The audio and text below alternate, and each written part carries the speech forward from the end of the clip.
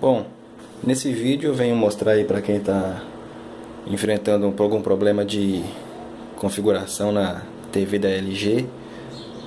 É, esse exemplo do vídeo aqui vai ser para modelo M2450D, que é TV monitor, 24 polegadas. Eu vi muito na internet aí gente pesquisando sobre é, a dúvida porque a, a, imagem dela fica escurecendo o brilho e clareando sozinho conforme conforme o que está sendo exibido na tela. E eu acabei encontrando que é o contraste dinâmico que estando ativado ele causa esse efeito.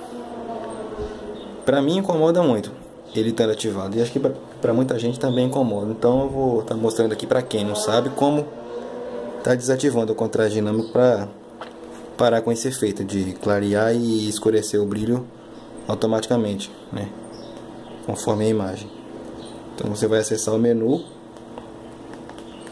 Imagem Lá embaixo em configurações avançadas a primeira opção aqui no caso ele já está tá, tá configurado no alto eu tenho é, desligado, baixo e médio. Né?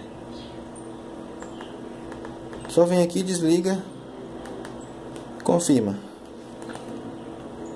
Aí pronto, vai acabar esse problema de ficar clareando e escurecendo sozinho a imagem. Irrita muito, né? Você está assistindo um filme, por exemplo, pela televisão e passa uma cena que é, que é no escuro. A televisão vai e clareia a imagem junto e escurece a imagem junto. Você consegue, não, não consegue ver nada praticamente. Né? Desativando o contraste dinâmico, ela, ela mantém um, um nível só de brilho durante o tempo todo. É isso aí. Valeu e até mais.